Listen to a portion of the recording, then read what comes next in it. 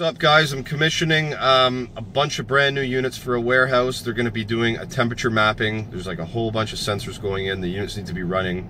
The ceiling fans need to be spinning to push that warm air to the ground. But check this out. Ooh, my hard hat. I never wear a hard hat. It's clean as a whistle. No stickers, no dirt, no scratches. I got to get some some stickers on this thing.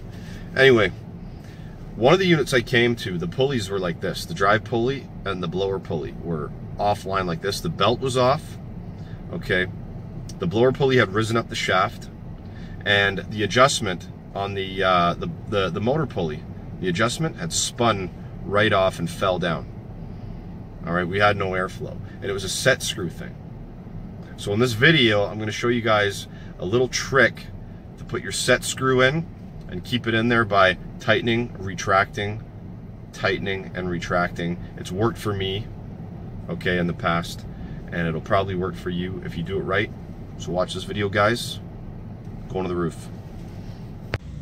So we had the set screw on this pulley kind of uh, come loose, and the pulley, it was actually up, sitting around here, and that put the alignment the drive pulley right out of whack.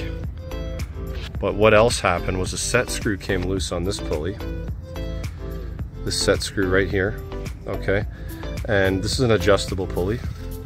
You can see that by the threads inside. So we can adjust that bottom piece down. So what had happened is the um, this bottom piece here, because the set screw came undone, it wound its way off and was just sitting down here and the belt was off. So the alignment was out of whack and this bottom adjustment had fallen off and the belt was sitting right in the unit. That's a problem. And it was a problem relating to set screw tightening.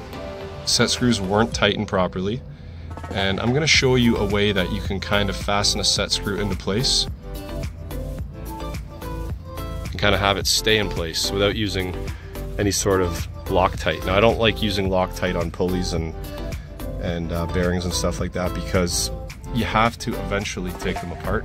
And if you have Loctite on there, it could be an issue. I've never had to use, use Loctite on bearings or pulleys in like a rooftop unit or, or anything like that. Once in a while you do, but not in every application. This is a York rooftop. I haven't had to use it in this application yet, so I'm going to show you a bit of a way that you can maybe get these things tight and stay set. Okay, you can see the Allen screw's got a bit of a rough bottom to it, a rough edge. So what we're going to do is we're going to screw that into the key of the shaft. The key sits in the keyway um, of the shaft and the pulley and basically we're going to screw the Allen screw right into that key.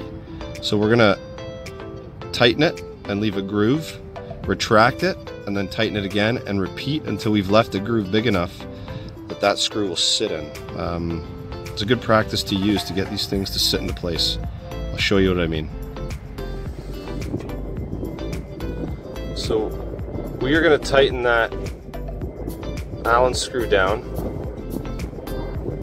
and then we're going to go back and forth on the key. You can see the key there sit between the shaft and the pulley. We're going to go back and forth on it a few times and what that's doing is it's kind of leaving a groove into that key that the Allen screw is going to sit on. A few times and then you can give it one last tighten. And it should have its own little seat in there to sit on now. Little tip for the day, happy HVACing guys. Hmm. I wonder why this is not moving any air.